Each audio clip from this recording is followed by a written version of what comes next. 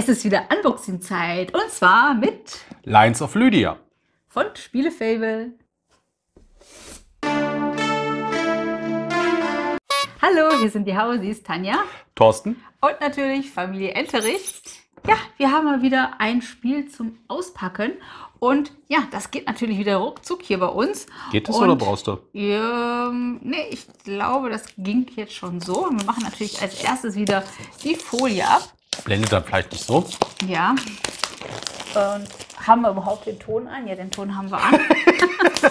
Musste ich mal eben schauen, ob überhaupt Ton an ist. Ähm, ja, das ist ein Spiel, was auf jeden Fall sehr interessant klingt, ist von zwei bis ja, für zwei bis vier Spieler. Wahrscheinlich etwas komplexer, weil wir spielen ab 12 Jahre. Ja, und 30 bis 60 Minuten haben wir Spieldauer drauf. Und das Spiel, ich zeige euch das mal von vorne wie immer. Dann einmal die Seite. Also der Karton sieht schon mal sehr schön aus, alles einheitlich vom Design. Sogar das Logo vom Spielefable ist nicht grün, sondern es ist hier braun. Ne? Und hier haben wir hinten einmal, wie das von hinten aussieht. Ja, und hier steht auch direkt, es ist mit Erstauflage mit acht Erweiterungen schon.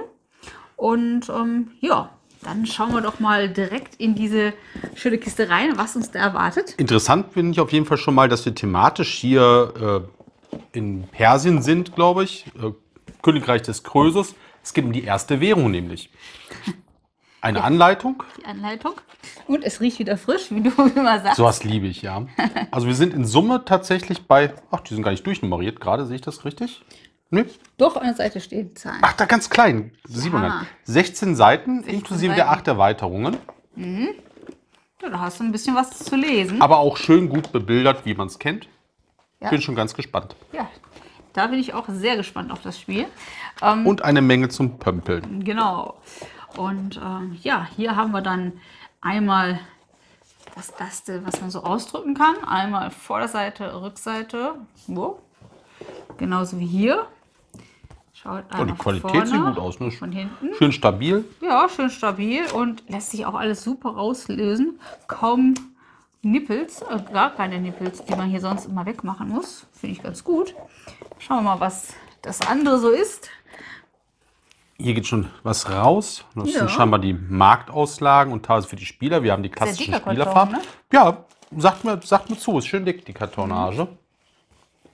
Vorder- und Rückseite. Beidseitig bedruckt. Mag ich auch immer. Hier haben wir einen Spielerblock für die Ergebnisse, einseitig bedruckt. Und was mir wieder gefällt, ich sehe jetzt schon sehr viel Holzmaterial. Ja, das sehe ich auch schon. Und Beutelchen. Und sogar Rundbeutel. Guck mal. Rundbeutel, ja. Das ist auch sehr praktisch. Sieht noch sehr schön aus, ne? Muss man sagen. Ne? Also hier haben wir jetzt hier, seht ihr? Sind rund, die Beutel. Da kann man natürlich sehr schön mit der Bleibt Hand nichts rein. in der Ecke hängen, gerade bei großen Händen. Genau. Kommst du mit deiner Hand überhaupt rein? Ja, das geht. Und guck mal, du kannst die sogar, ich nicht, aber du kannst die sogar als Handschuh nutzen. Ich kann als Handschuh nutzen, ja, super. ja, wir haben hier vier, vier von diesen Beutelchen. Was finden wir noch? Münzen, auf jeden Fall, die sogenannten Löwen von Lydia. Hier haben wir dann, Ja, die sind aus. Wo sind die aus? Nee, doch, die ist Pappe. das ist Pappe. Die ist Pappe. Und, Wobei, ja, nee, Holz. ist das Holz? Das ist Holz. Ist das bedrucktes Holz? Das ist bedrucktes Holz. Ja, das kann auch sein. Das ist tatsächlich keine Pappe, das ist Holz. Ah, ja, das sind diese Laserstandsteile, ne? Ja, das riecht man auch. Das Mhm. ist gelasert. Ah, und dann ist das bedruckt. Interessant. Das finde ich toll. Das also, Und ja, hier haben wir die Spielertableaus, denke ich mal. Vor der Rückseite sind nämlich alle gleich. Und ja, ja Spielertableaus. Was finden wir denn noch? viele kleine Tüten mit Ja, eine Token. Tüte mit ganz vielen Tüten. Was ist das? Wir kennen das Spiel selber noch nicht. Also wir sind jetzt ja völlig. Brunnen oder was soll das darstellen? Ja, sieht auf jeden Fall witzig aus. Und ist auch Ah, wieder der, Holz. der Miepel sieht ja hier klasse aus. ja, das ist der König Krösus. Das ist der König Krosus. Also der gefällt mir ja schon. So ein Holzmiepel in, in meiner Farbe, in lila. Ja. Schaut mal, der sieht doch witzig aus. Der hat da irgendwie was in Stab in der Hand.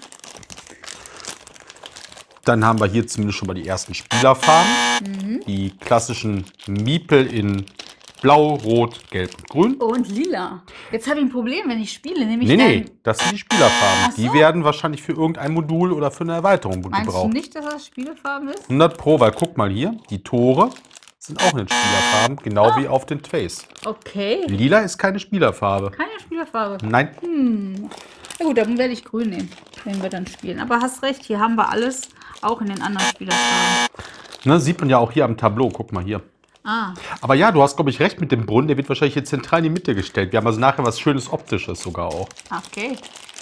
Ja, und hier haben wir dann verschiedene Holzsachen. Ja. Der einfache Miepel. Hier sind irgendwelche Waren. Sechs, Sechsecke, Waren. Das sind ja. Warensteine. Warensteine oder so. Da sind ja auch irgendwelche Sachen drauf gedruckt. Ja, dann Holztore in den Spielerfarben. Goldene Miepel. Interessant. Und in Silber haben wir hier irgendwelche äh, Säulen. Säulen. Das ne? könnten Säulen aus Holz sein, ne? Säulen, ja. Also eine Menge Material auf jeden Fall. Ja. Material gefällt mir schon mal sehr. Sehr ansprechend. Ne? Hier haben wir das silberne. Wie ihr seht, es glänzt richtig. Also es hat auf jeden Fall Aufforderungscharakter, weil Ja, das. ich finde, das hat schon was. Und hier an den Seiten, guck mal, hier werden die Tore bestimmt aufgestellt. später. Mal irgendwie schauen, wie ich das hier aufkriege. Das haben wir hier keinen Anfang. Ja, Messerchen. Genau, geht vielleicht schneller. Achtung, Frau mit Messer. Aber es funktioniert. Die hat es ja hier schon gezeigt gehabt, genau. Ne? Die habe ich schon gezeigt, ja. Und jetzt haben wir hier, ich weiß nicht, was das sind, vielleicht Auftragskarten, keine Ahnung, Sammelkarten. Also irgendwelche schönen, bunten, sehr schön gestaltete Karten, ganz viele. Wie ihr hier seht, ne? Also sehen, Auch Rückseite, beidseitig, genau, ne? beidseitig bedruckt und ähm, die sehen wirklich interessant aus, ja. Muss man sagen. Dann habe ich hier noch vier kleine Karten, Mhm. beidseitig bedruckt. Mal der Brunnen, den wir euch gerade gezeigt haben, nochmal drauf. Genau, einmal mit Wasser und einmal ohne. Ja, stimmt. Einmal läuft er, einmal läuft er nicht. Was auch immer das bedeutet, das werden wir uns jetzt in Ruhe anschauen. Ja, und wir sind schon gespannt auf das Spiel. Wir freuen uns schon, das auszuprobieren und werden euch natürlich darüber berichten, wie uns das Ganze gefallen hat. Also Material gefällt mir schon sehr gut. Karton leer. Karton leer, so sieht er von innen aus. Ja, und das war's für heute. Wir sagen Tschüss, die Hausis, Tanja Thorsten? und Familienterricht. Tschüss. Tschüss.